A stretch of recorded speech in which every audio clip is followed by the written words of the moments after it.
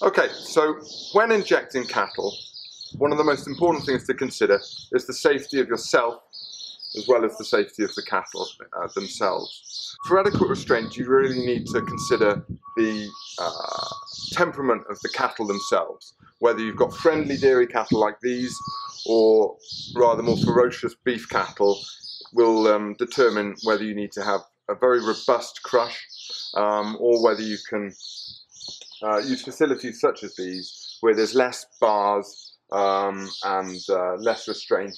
You can see there's no restraint of the necks of the um, cows here, whereas with beef cattle, particularly if you're going to um, inject in the neck, that would be essential. Um, so what I um, what I'm then going to consider is where to inject uh, the animal. Um, so we have uh, three uh, different locations, um, uh, three different types of, of injection. Um, intravenous injections, um, subcutaneous injections, which means under the skin, um, and intramuscular injections, uh, which means into the muscles themselves. I'll consider intramuscular injections first. There's basically two different locations for um, intramuscular injections um, in cattle, the back end and the neck. Um, so it's usually the back end that you'd use.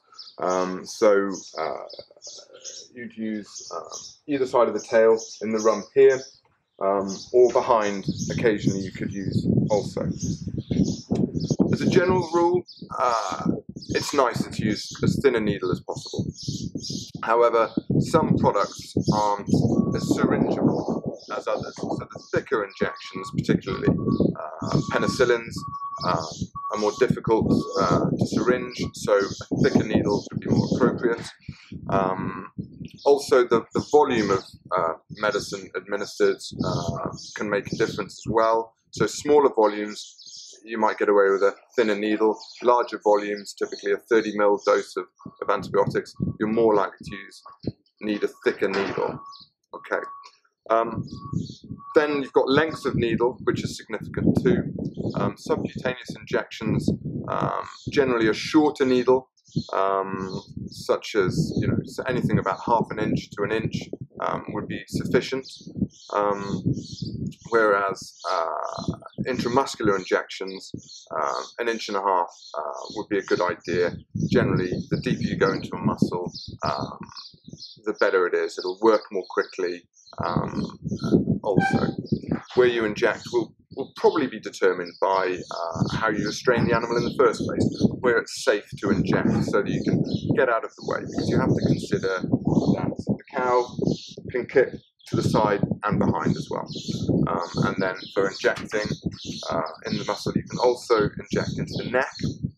Um, and when you do that, you have to really consider that the head is a very dangerous part of the cow as well, the bull, um, and so adequate head restraint is essential, um, either using a halter or a yoke and a crush.